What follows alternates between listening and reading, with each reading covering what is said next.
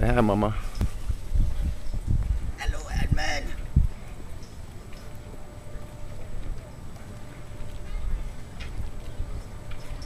Grandview Terrace.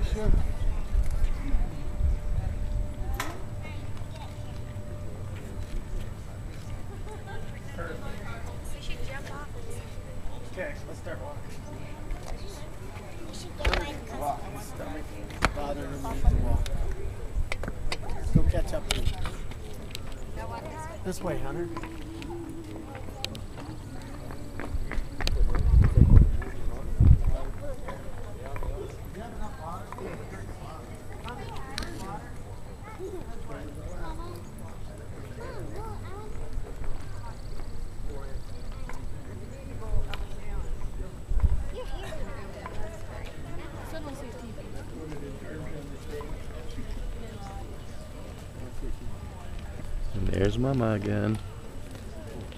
Taking pictures like always.